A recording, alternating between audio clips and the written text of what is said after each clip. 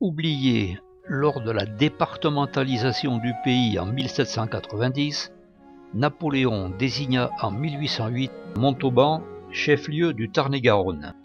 Bastide créée en 1144 par le comte de Toulouse sur le Tarn, Montauban est considéré comme la première ville neuve du Midi avec des rues à angle droit tracées autour d'une place centrale. Ici, le pont des Consuls enjambe le lit d'un ancien affluent du Tarn. Pendant la guerre de Cent Ans, la ville fut occupée par le prince noir, fils du roi d'Angleterre Édouard III.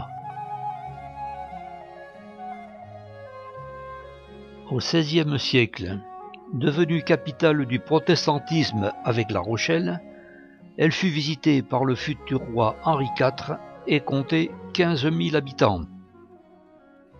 En 1621, la ville fut assiégée sans succès par Louis XIII. Elle est actuellement classée ville d'art et d'histoire. Ses rues sont bordées de maisons en briques rouges typiques du midi toulousain. Sur le chemin de Compostelle, rescapé du pillage des églises catholiques par les protestants, l'église Saint-Jacques est coiffée d'un clocher octogonal de style toulousain s'appuyant sur une tour carrée à Machikouli.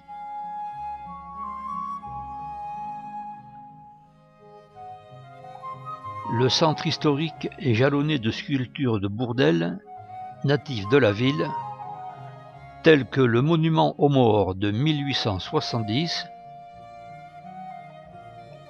Sappho sur la place du théâtre,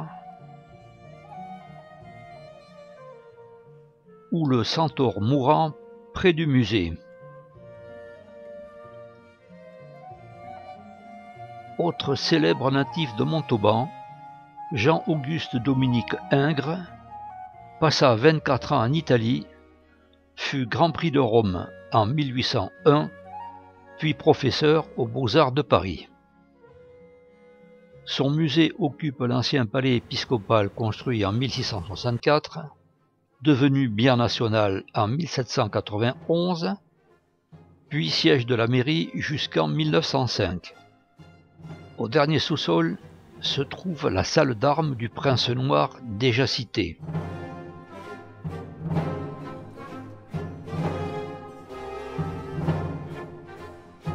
Commencé en 1363, les travaux cessèrent dès le retour des Français après l'occupation anglaise. Cette salle abrite une intéressante collection lapidaire, grande cheminée sculptée, cloches, pierres gravées, cuve baptismale et surtout un authentique banc de la question du XVIe siècle, grâce auquel les aveux des malheureux torturés ne devaient pas tarder.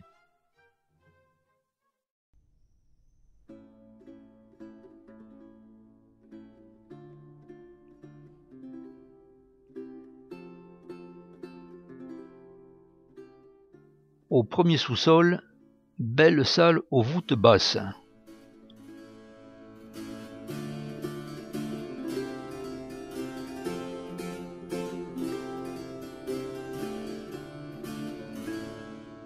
On y trouve des broderies, des faïences, des verreries et une importante collection de pots à pharmacie anciens, ainsi qu'un four banal.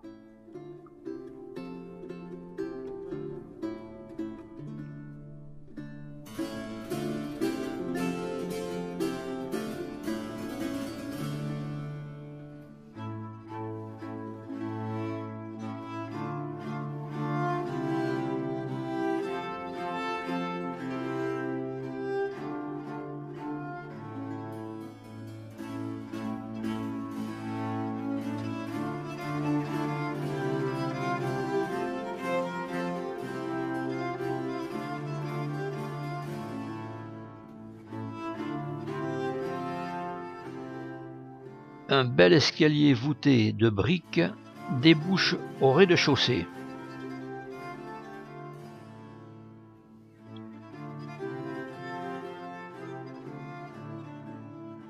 Au milieu de nombreux bustes et dessins, le célèbre plâtre de l'Héraclès archer figurait autrefois sur nos cahiers de classe.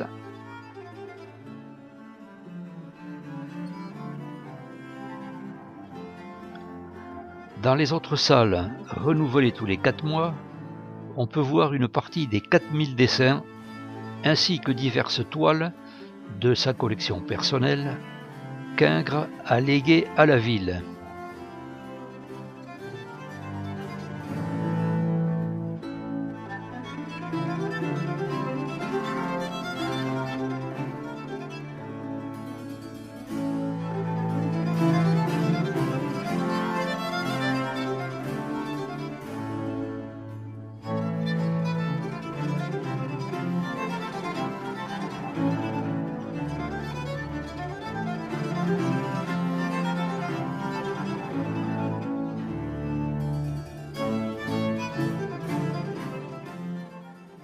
Enfin, dans un salon particulier se trouvent divers objets, dont le fameux violon posé près d'une partition de Mozart.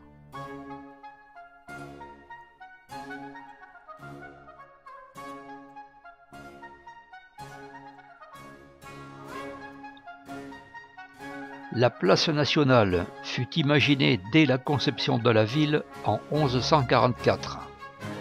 Mais construites en bois, les arcades, appelées couverts, furent détruites par des incendies en 1614 et 1649 et reconstruites en briques roses par des architectes toulousains.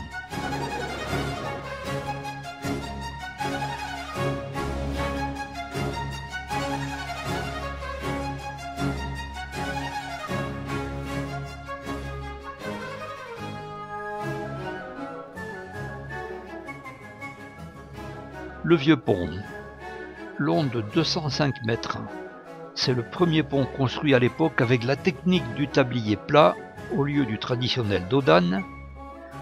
L'ouverture en arc brisé des piles a permis d'éviter l'accumulation et la poussée des eaux lors des violentes crues du Tarn. Il n'a jamais été détruit depuis son édification.